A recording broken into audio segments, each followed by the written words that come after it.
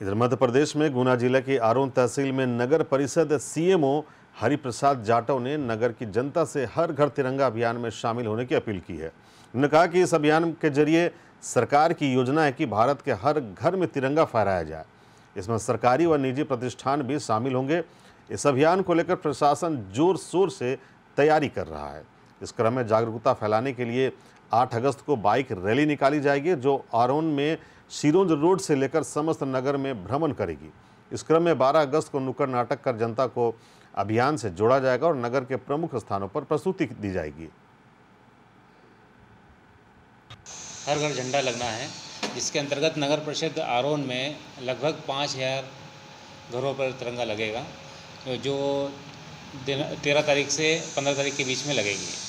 शासकीय बिल्डिंगों पर सूर्योदय से सूर्यास्त के बीच में लगेगा। बाकी अपने निजी मकानों पर चौबीस घंटे झंडा लगा रहेगा।